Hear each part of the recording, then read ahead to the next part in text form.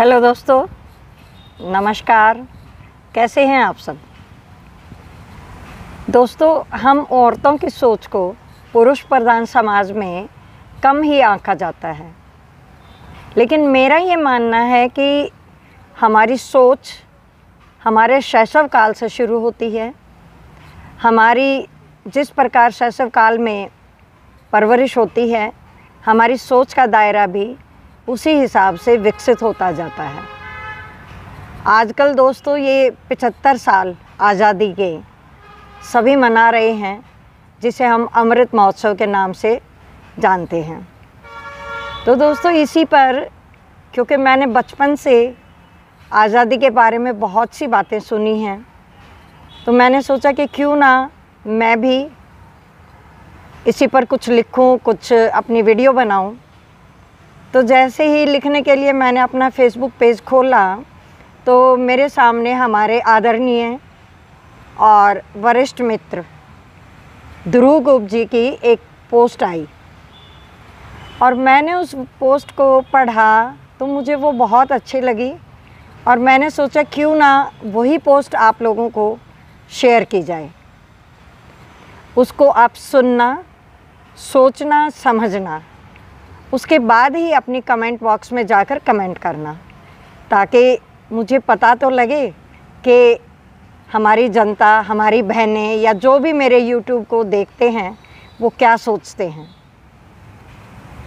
लेकिन दोस्तों, एक विनती भी है, कृपया करके मेरे चैनल को लाइक और सब्सक्राइब करना ना भूलें, क्योंकि आप लोग सपोर्ट करते हैं, तभी मेरा मनोबल भी बढ़ता है और कुछ अच्छा अच्छा वीडियो डालने के लिए मैं प्रेरित भी होती हूँ। तो शुरू करती हूँ। ध्यान से सुने। लोकतंत्र के वर्तमान स्वरूप में सियासी दलों को जो भी हासिल होता है, आपके मतों से हासिल होता है।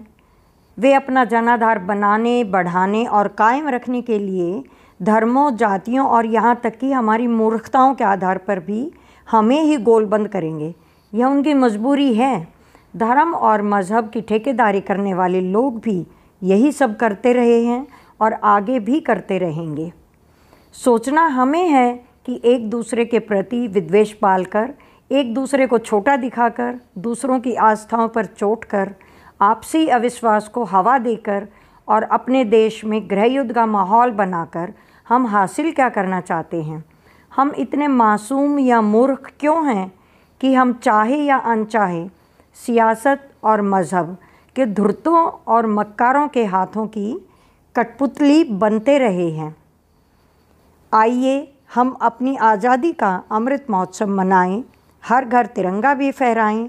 बस यह न भूलें कि असंख्य धर्मों, जातियों, भाषाओं और संस्कृतियों में बटा हुआ ये देश राजनीतिक ड्रामा, इवेंट मैनेजमेंट और नारेबाजी से नहीं, इसके सभी लोगों के बीच आपसी समझ परस्पर सम्मान, भाईचारे, एक दूसरे के फ़िक्र और विविधताओं के बीच से उठती एकात्मकता की अंतर्ध्वनि से ही बनेगा और बचेगा। आज़ादी का महोत्सव मनाइए, हर घर तिरंगा भी लहराइए। नमस्कार। तो दोस्तों, ये थी वो पोस्ट जो मैंने आप सबके सामने शेयर की। कृपया अपने विचार ज़रूर दें। कमेंट बॉक्स में जाकर अपनी प्रतिक्रियाएँ ज़रूर दें।